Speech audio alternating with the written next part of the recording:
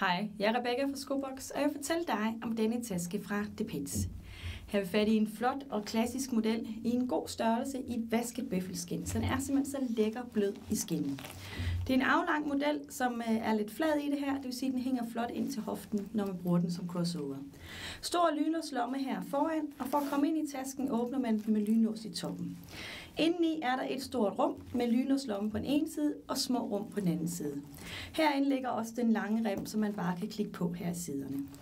Har du lyst til at vide mere om tasken, så spørg mig eller kig forbi.